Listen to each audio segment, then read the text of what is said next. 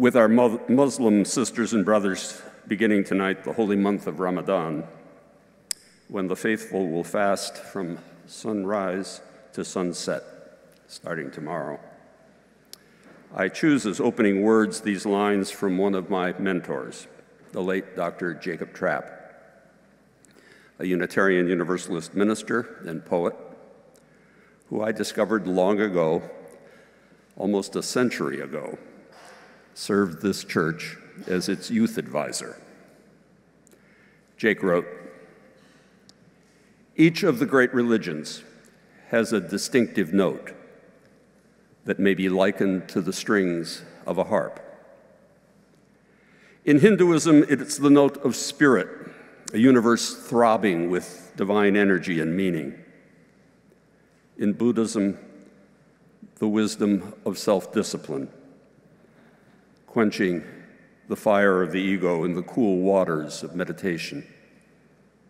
In Confucianism, it is reciprocity, mutual consideration as the basis of society. In Taoism, it is to conquer by inaction, to be lowly and serviceable like a brook, and become rich by sharing. In Judaism, it is exodus from bondage, the covenant of responsibility and freedom. In Christianity, it is the prayer that all may be one.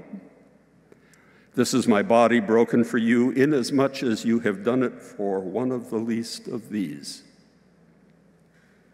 And in Islam, it is the note of submission.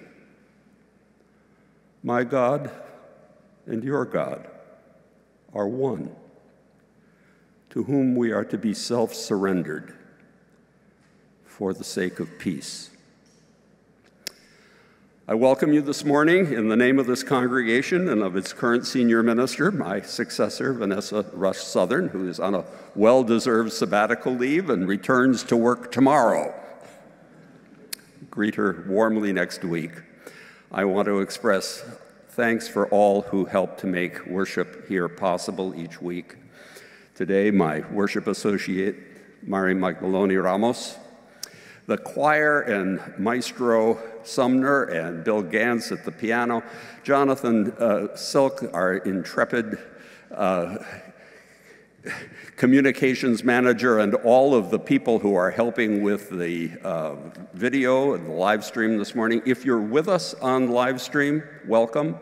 If you need any help, please uh, use the chat to find the person who will assist you. There is an order of worship available there, I believe. With that, I think it's time to light our chalice, symbol of our distinctive faith tradition. Mari? Please say the words of the chalice lighting with me. I invite you to. Um, the words are in your order of service. We light this chalice for the light of truth, the warmth of love, and the fire of commitment. We light this symbol of our faith as we gather together.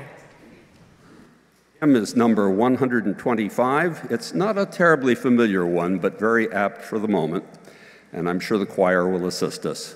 Please rise as you are willing and able in body or in spirit.